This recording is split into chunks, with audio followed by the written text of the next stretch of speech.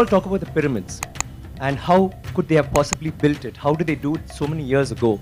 But do you know that in India we have so many temples? The one, with the highest Gopuram is there in, in um, Thanjavur, which is where the Chola dynasty had happened. And that particular temple has the highest Gopuram in the whole world.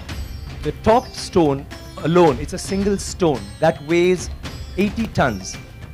80 tons, not one ton or two tons. And how did they do it? Do you know that for this particular stone, they had to use a ramp which was six kilometers long, which was pulled by bulls, elephants, and people. Six kilometers long to get it up there without any machinery, without any cranes, without any, anything. And they didn't have plaster. It's withstood six earthquakes. But do we know that? We all go to the pyramids, we go see the Leaning Tower of Pisa. We are actually appreciating a building that doesn't stand.